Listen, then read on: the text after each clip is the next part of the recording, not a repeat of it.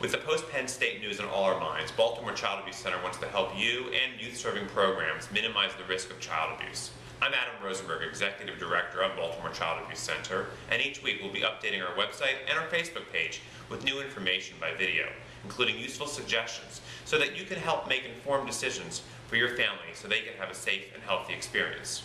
The first question you may want to ask your child's summer camp or summer program is this. Has your staff been trained in how to recognize, respond, and report child abuse? We want to be able to send children to an environment that is looking out for the best interests of children, rather than the institution. Accordingly, staff should know what the camp's internal procedures are, and that if abuse is suspected, it gets promptly recorded. If you're unsatisfied with the answer you get, share with the program your concern about the risk presented to your child and other children. Just as we know what to do in the event of a fire or a hurricane, we all should have our child abuse reporting procedures in place and understood by all staff. You can suggest to your kids' program that if they want to learn how to create their own procedure and train their staff to your comfort level, they should contact Baltimore Child Abuse Center at 410-396-6147. Together, we can build safer environments for all of our children.